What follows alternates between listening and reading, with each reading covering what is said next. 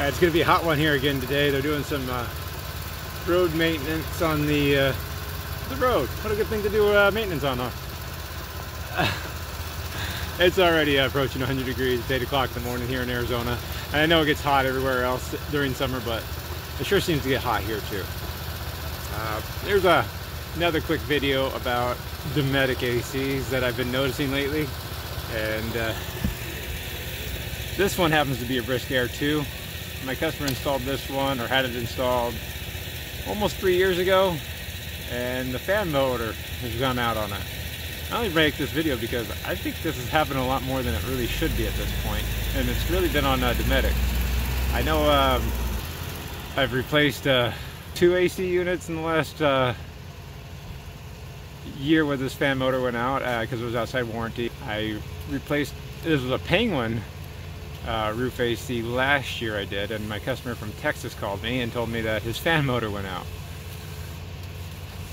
And it's still under warranty, so he's going to try to get it serviced there in Texas. And I got this one, and I had about two or three other ones, and these are all the newer Dometics. I don't know exactly what's going on with these motors. I suspect they're not using a high quality motor manufacturer because it's usually the bearings that are going out and it's generally from running continuously, which you have to do here in Arizona. So let's take a look. So here it is, the Brisk Air 2. This is their uh, entry-level model, I guess you would call it. It's not a low profile. Not any of them are really high efficiency, but my customer called me out because his AC wouldn't work. Obviously, the compressor would run, but the fan wasn't blowing any air. You could just hear it humming which has been a pretty common problem on these. Uh, I came out and I took a look at it and I could feel how stiff the bearings were on it, but I did manage to free it up and I gave him the option of ordering a new motor, new AC, or just seeing how long that uh, lasted. And uh, that lasted a day. So he, he had me order it and here I am today, replacing the motor.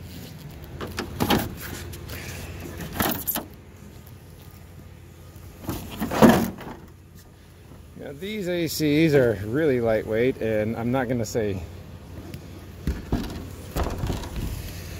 cheap. They're just highly engineered.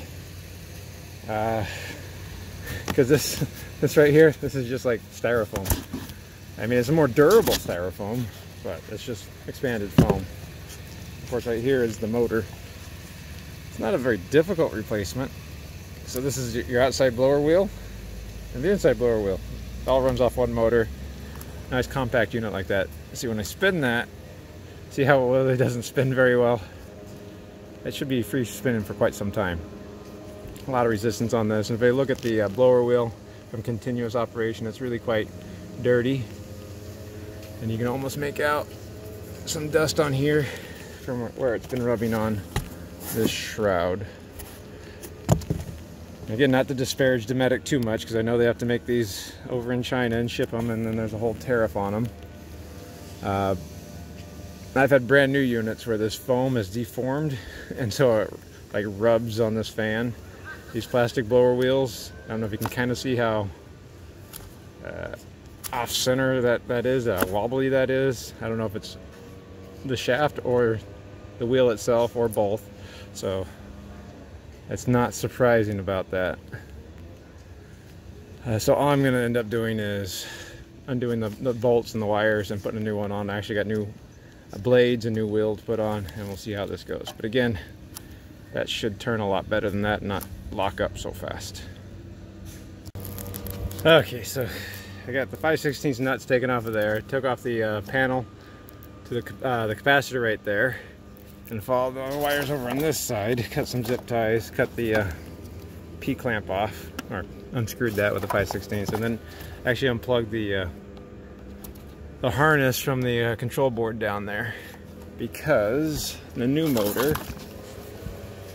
has comes with the pins already on it, so I have to put those in the uh, that that quick connect pin too.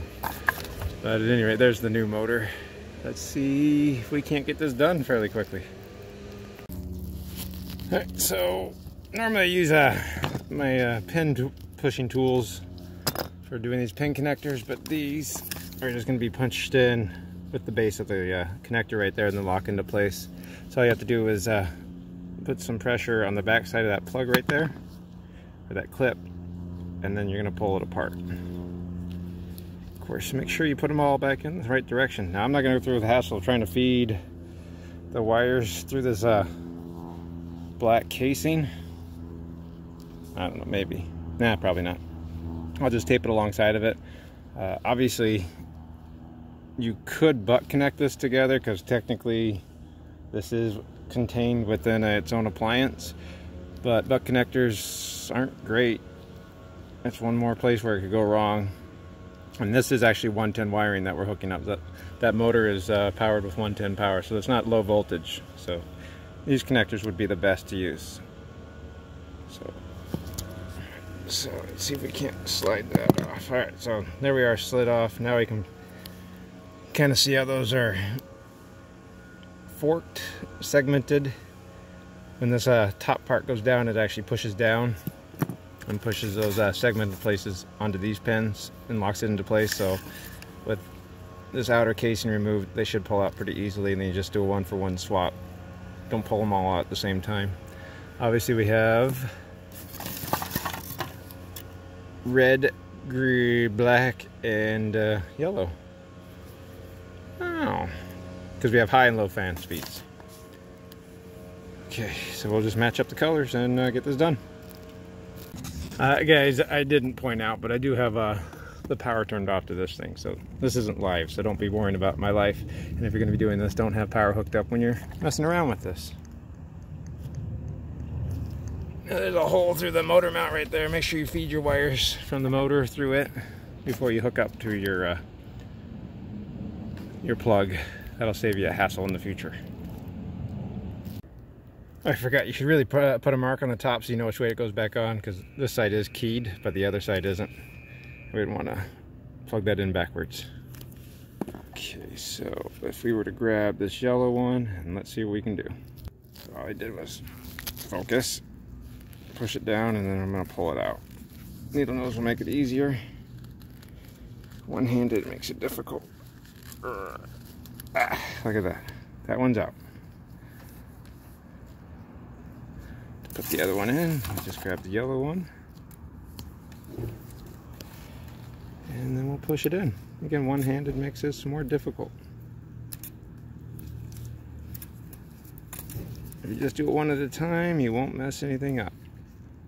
Look at that. Just two more to go, black and red. All right, well, I got all three of those put on. Let's see. There's my mark on that side, and there's its matching mark.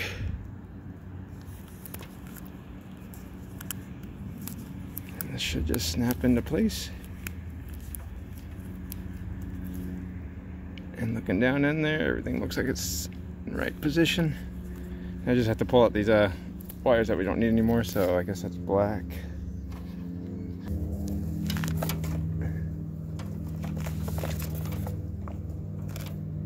All right, there's all the wires pulled out. Now we can just hook up the uh, motor. Well, not really, I still have to disconnect the capacitor. All right, I'm not gonna go through the hassle of taking these uh, blades off because I'm putting new ones on anyway, so I just got this thing kind of pried back out of the way, right? And now I can see which brown one is going to it. There it is. Then it had one ground.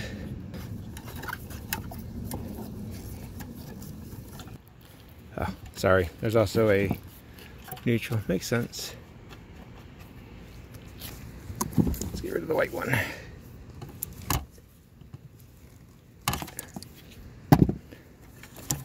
Okay, there we go. I just put the new one in. All right, so we don't stress this expensive, uh, highly engineered foam. We're gonna put the uh, outside impeller blade or in the opening right there or in the housing there. Okay, I don't know if you can see.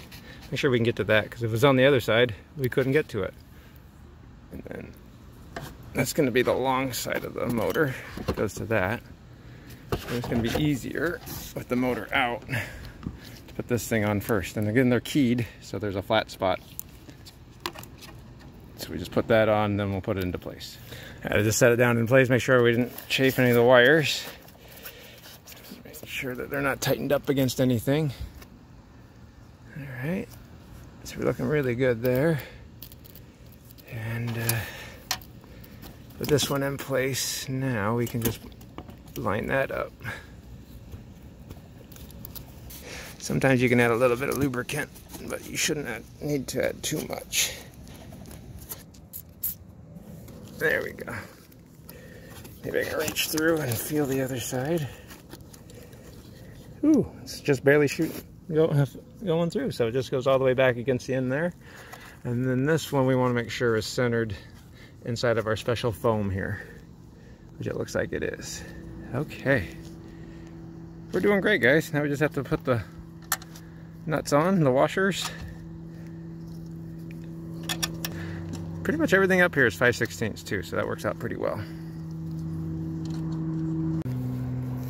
There, tighten it up. Try to do it kind of like a tie.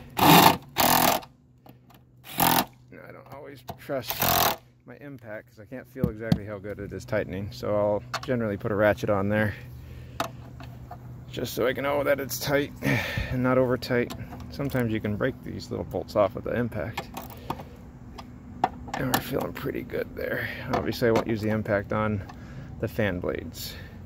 But with this tight now it'll be easier to, to tighten up the fan blades without uh, worrying about it. So I'm going to do that, hook up the wires, and then we'll be ready to fire this thing up. And I'm just on the other side. I got my wires just taped around the harness there. Motor's installed, the wires are hooked up. I have to zip tie those and put the cover back on. But if I spin that, you can see how well it just keeps freewheeling there. So that's a little bit better than uh, before where it would stop almost immediately. All right, so let's get this thing plugged in and start it up.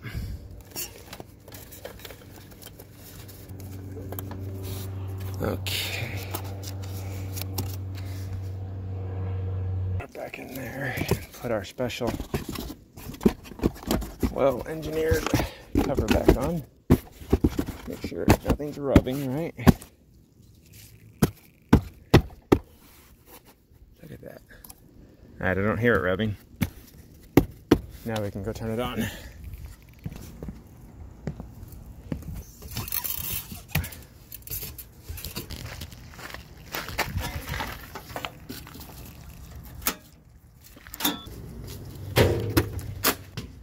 Ah, let's just try it on fan first. Ooh, I turned the fan turned on right away.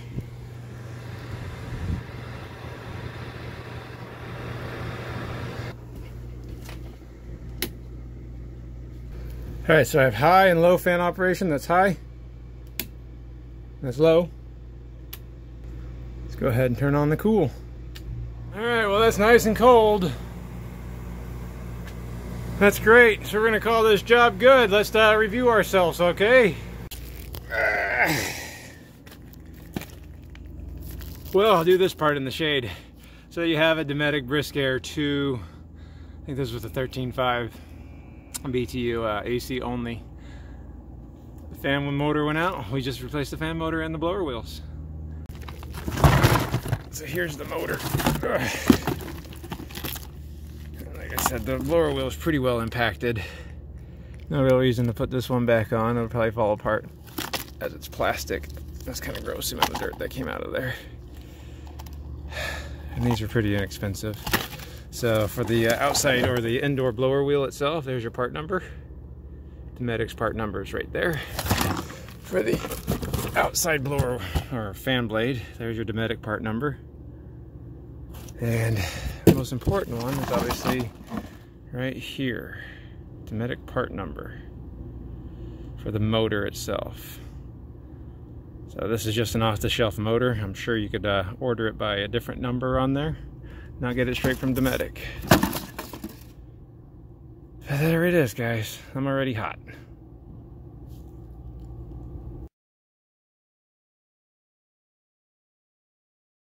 Well, I'm sure it won't come up very well on video, but we're spinning pretty well.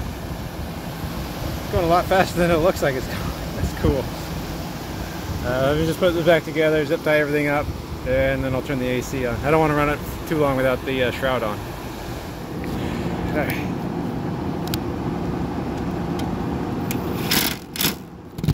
Alright, so with that installed, I can go ahead and turn the AC on and clean up my mess out here.